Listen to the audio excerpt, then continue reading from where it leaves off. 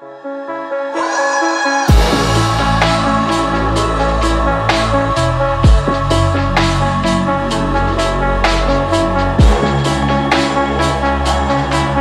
folks, Dr. Mike here with Jared Feather for Renaissance Periodization. We are gonna show you how to not do incline dumbbell presses and how to do them. Remember, incline dumbbell presses are a chest exercise focusing on the majority of chest hypertrophy with a slight bias to the upper pecs, but the front delt and triceps will also get a hypertrophic effect. The target really is the upper pecs. So let's remember that as we go through these tips and tricks to make sure you're doing this not wrong and doing it right. The first mistake is looking for an ideal incline to activate the pecs or something like that. The target is the upper pecs, and the more you incline, the more the upper pecs are involved until they're not involved much anymore and the front delts take over too much. And then if you lower the incline a ton, you actually get more and more and more whole pec activation, but at some point the upper part of the pecs aren't getting as big of a fraction of that as they were. So what's the right answer? The right answer is feel it out. Try all three inclines, lower incline, medium incline, and high incline being basically 30 degrees, 45 degrees, and around 60 degrees, see how they feel. Are they hitting the upper chest? Do you feel tension through your upper chest? Is there burn through your upper chest? Is there a pump in your upper chest when you're done with a few sets? And is the upper chest feeling weak and really weird and lower in strength after you've done whatever variation you've done?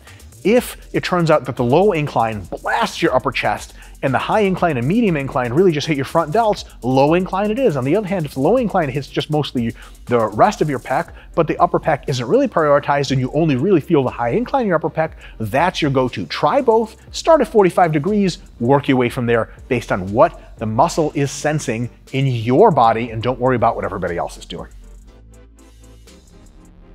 Next mistake is thinking there's an absolute 100% right way to flare the elbows. It's perfectly fine to do inclines with your elbows tucked in close as long as you're feeling your upper pecs being stimulated and your shoulders and elbows feel comfortable in that position and you can produce a lot of force. Jared shows what that looks like. Incline press like that is 100% fine. And then if you elbow flare a little bit more, hit it. That's totally cool too, as long as you are feeling your upper pecs and everything else feels good. And then if you wanna take all the way out, that's also super awesome. A lot of people really feel their chest this way. If your shoulders are really hurting in this position, don't do it. Any one of these is okay so long as you are feeling your pecs stimulated and your joints feel good. The next mistake in the incline dumbbell press is to not have your chest or rib cage properly expanded and the other version of that is too extreme of an expansion where you're attracting too much. So what we don't want to see is a completely flat or rounded back, your shoulders forward, and then you're trying to incline press like that. exposes the shoulders not such a great position. A lot of times the front delts take over and the triceps do. You don't get a deep stretch of your pecs at the bottom, not the best. What you want to do is just slightly arch your back, but more think of it expanding your ribs, depress your scapula a little bit, hit some reps, Jared, that's a really great looking incline press and you get a full extension at the top and a big stretch at the bottom. Everything's nice and stable. What you don't want to do is take this too far and start doing a powerlifting setup where you're tucking your feet, arching as much as you can. At that point, just reduce the incline. And then what ends up happening is if Jared's going to try to lock out, notice that he can't even lock out his elbows to complete a rep because his scaps are so far behind him. You don't want to get into extremes. You want to stay, go back to the right one, Jared, just a normal elevated chest, scaps down but not back, and then all of a sudden you're doing high quality reps. Next mistake is too low of a range of motion. It's super tempting to not lock the dumbbells all the way out. Okay, that doesn't mean you have to press them for three seconds at the top with your triceps, but a good lockout just means you did a full job of using your pecs and your triceps, and of course, the much more common is not going all the way down. If you're freaky long and you're super narrow rib cage and very inflexible shoulders, you may actually be able to get a full pec stretch without going all the way down. That's incredibly rare. 95 out of 100 at least folks you'll see on the internet, even jack pro bodybuilders that don't go all the way down with incline dumbbell presses, are just trying to use more weight to show off to themselves mostly, and they haven't thought it through. So, you know, a lot of folks stop short of that unless you have gigantic arms and everything super bound up. You probably don't need to do that. A really good way to ensure you're going all the way down is to gently touch your outer shoulders with the dumbbells every single time, pause for a split second, and come all the way back up. Jared shows show us uh, what that looks like. All the way up, Jared's gonna come and gently touch shoulders, and all the way back. That way, when you touch your shoulders gently, you know you're getting good enough stretch. You don't have to worry about it. Show us what some crappy reps look like. Be a pro bodybuilder real quick. You're locking out too much. You got to do only mid range. Yeah, there you go. Yeah, pump it out, baby. Wartime, war, brother, iron and steel. Don't do that. Next mistake, super related to the ROM mistake, is doing different range of motion with every rep. You have to have a standard. If you are not flexible enough to touch your shoulders and lock out at the top, at least get to where you're going down to the same relative position. Go down to your ears or something like that, and then come all the way back up. Almost certainly you will be flexible, so go all the way down. But if you're not, at least keep every rep the same. Show us, Jared, what a bunch of different reps look like. People say, oh, I'm doing incline press. We'll do a good full range of motion for the first one, and then the next one, they won't lock out all the way, and then they won't come down all the way, and it's like, how many reps is that? Who knows, right? Every rep, show it right, should look essentially the same all the way down and all the way up. How many reps did you do? One, two, it's super easy to count because all the reps are the same. Good enough, Jared. So have consistency by doing the right thing every single time. Even if you have to cut your reps for whatever reason, shoulder pain or something, cut them to the same depth every single time so you can track your progress, apply the right amount of stimulus, not be confused about if you've been getting stronger or if you're actually just cheating the reps more. Not controlling the eccentric is the next mistake. The eccentric lengthening contraction is hugely stimulative of hypertrophy, and by not dive bobbing our inclines, we get to have more muscle growth and be safer.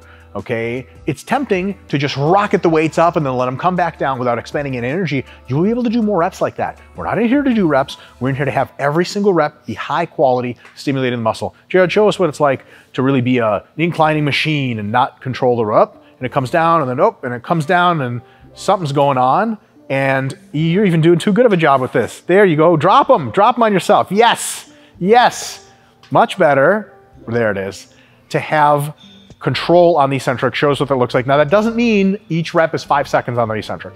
Just under control. You're still activating your pecs and triceps. Gentle touch and up and control and up. Notice it's really a one second eccentric he's doing, but he's still under control. He's still getting the maximum benefit of the movement without risking too much injury. Believe it or not, the incline dumbbell bench is not a hip exercise. Crazy, I know. I thought you were supposed to be using hip drive for all the stuff. Here's the thing. If you solidly plant your feet into the ground, a little bit of hip drive without your butt leaving the seat is totally fine for maximizing concentric force so long as your eccentric is really well controlled. However, if your butt is coming off the seat, what the fuck are you doing?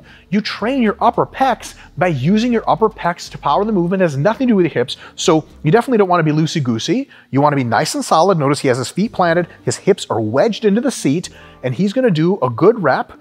Perfect, control, and even if it's powerful, do a powerful rep, Jared, but don't let your hips come up. Really high power, everything is still stable. Now, if he wanted to cheat himself and add a ton of fatigue for no reason, yeah, get it. Really pop those hips. Hell yeah, who knows what's going on? Now, at that point, you're getting extra credit for a test that's never gonna happen for someone who's not counting anything, okay? Don't use your hips. It's totally fine to be super stable, and have a little bit of hip drive in there. You never want your butt to leave the actual bench because, yeah, you'll get more reps, but it won't increase your pec stimulus at all, which is why you're doing this. And also, it'll generate a lot of fatigue moving your whole body. And also, a lot of times when you have to do that, you're already well beyond normal failure. Going beyond failure is super, super fatiguing. It's not worth the stimulus in most cases. The last mistake is misusing dumbbell loads. This is going to be kind of a, an interesting thing you may not have heard before, but here's the deal. On movements like dumbbell movements that are relatively unstable, at very heavy loads, instability detected by the body reduces your maximum ability to produce force. So, sets of 5 to 10 in the dumbbell press end up not producing nearly as much force as sets of 5 to 10 in the barbell press because the barbell is auto stabilized Smith machine as well, if you're into that sort of thing. But the dumbbells get really awkward when they're really heavy, and you spend way more neural energy or neural priority controlling them than you do actually pushing with your upper pecs. If you want to go heavy, sets of 5 to 10 are best done barbells, Smith machines, and other machines for incline pressing. For dumbbells, you probably want to save dumbbells for sets of 10 to 20 reps. What about 20 to 30 reps? You can use dumbbells, but you have another problem. Fatigue in the 20 plus rep range starts to destabilize your technique because you're in so much pain, right, that you're focused more on getting the reps done than actually getting good reps. It's much better to do that rep range on a machine where you're locked in. The technique is the same every time and you can just go, go, go.